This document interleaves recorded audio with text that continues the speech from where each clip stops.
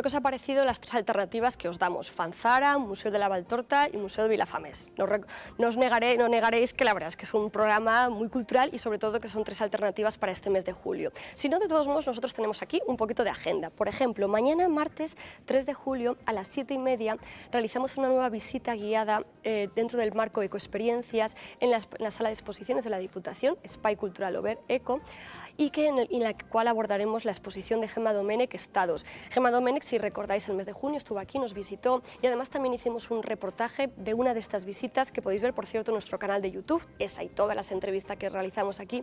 Creo que es muy interesante porque a través de esta exposición, digamos que nos conectamos un poco con, con nuestro yo más interior. Es muy interesante, ¿eh? sobre todo porque está concebida como una auténtica instalación. Ahí va nuestra primera propuesta. Y la segunda será a las 8 de la tarde y nos lleva hasta el Menador, hasta el Spy Cultural, concretamente hasta la sala de exposiciones, de, conferencias, porque vamos a ver eh, vamos a asistir también a, bueno, a una referencia también dedicada a la diversidad sexual sobre un movimiento surgido más o menos a mediados de los años 80, que es el queercore. Si queréis conocerlo, podéis acercaros mañana a las 8 de la tarde al Menador.